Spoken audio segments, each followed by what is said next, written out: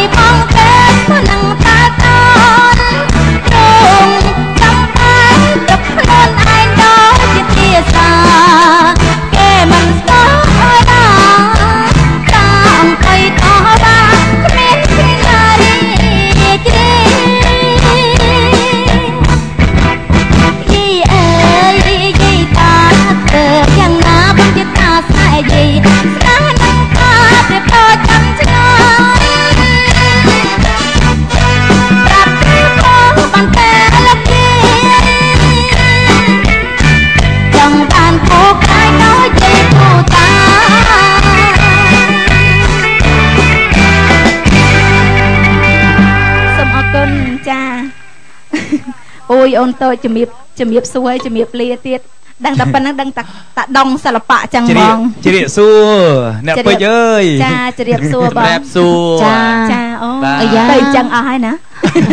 និយាយច្បាស់សោះហ្នឹងកញ្ញាស្រីពេជ្រឃើញអឺបាទបងប្អូនយើងគាត់និយាយភាសាបែបរដើរដើរណាព្រោះពីរោះចាជាពិសេសខ្ញុំចាប់អារម្មណ៍ជាងគេអ្នកបដា បដាអ្នកខាងបដាហ៎ត្នេះឯងត្នេះឯងផ្ទះត្នេះឯងអីបងអាហ្នឹងឯងនិយាយពីរឿងត្នេះឯងហ្នឹងហើយហ្នឹងហើយនិយាយឡើងសួរមិនទៅអាចមើលនិយាយបានណាសចាួរថាអឺបងអត់ទោសអើយខាងអឺខាងឃុំកោះជីវាំងអីនៅម្ដុំណាឧទាហរណ៍អញ្ចឹងណាបាទចាចាគាត់ថាអូនាងអើយនៅនៅទៅនោះឯង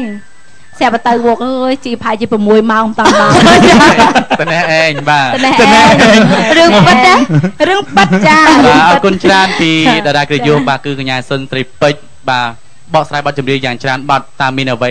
សម្រាប់ជាផ្ញើសារជូនដល់បងប្អូនរបស់យើងបាទសុនចាជ័យចាសារសម្រាប់នាងខ្ញុំគឺថាសូមឲ្យបងបងក៏ដូចជាបងប្អូនខាងយុវវ័យចាសូមឲ្យជិះឆ្ងាយពីគ្រឿងញៀនពីព្រោះថា